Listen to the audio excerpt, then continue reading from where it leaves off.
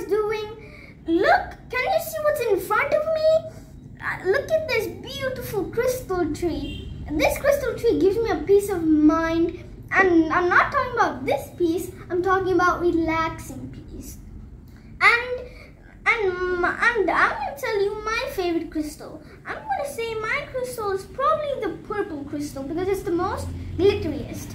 Come on, come on closer. Maybe you can comment down below what is favorite crystal tree. Your choice.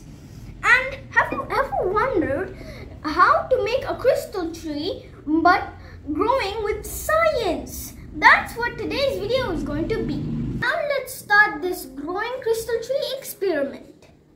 So, and I have these two halves of trees and these are cardboard. And mm, on the edges of the trees, there are different colors. And now, let's make our experiment. Guys, look at the tree all set in the base. I'm to put it on this little stand for you guys. It's for it to be a good view for you guys.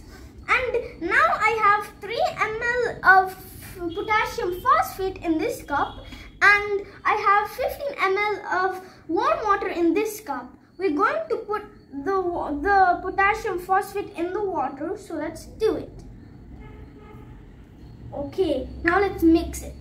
I'm going to mix it for about one minute. Guys, I finished mixing it. Now I'm going to put it in the base. I'm so, so happy. Okay. So guys, we've done pouring it and now we're going to do we're going to wait for about 12 hours.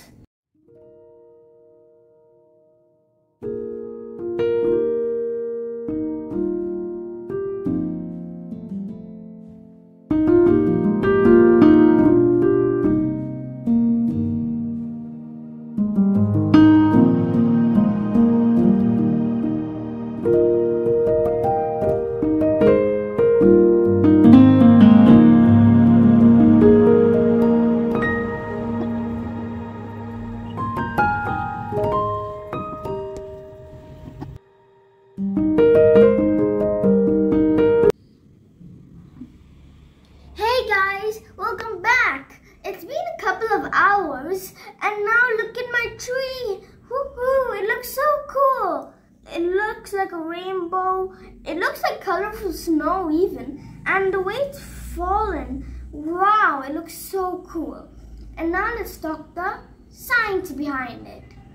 The solution I poured, which is potassium phosphate, it is observed by the paper and then it goes down to up.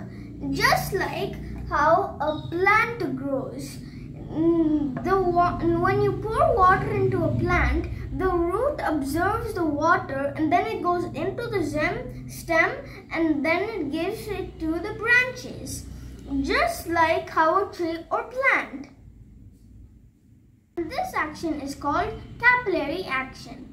I, I think I've told you about capillary action in a previous video. It is rainbow experiment video. What happens here? How the crystals formed? Well, I will tell you guys. When the solution begins to evaporate, the liquid turns into gas. The, then the crystals are formed. Pretty, pretty simple, isn't it? I mean, science is very simple. Science is the way we take it and I'm enjoying looking at this crystal tree. And I'm going let me decide where to keep it in my house. And I have to keep it in a good good spot. And meanwhile you guys can subscribe to my channel like this video and post notification bell. Now see you guys in the next video. Peace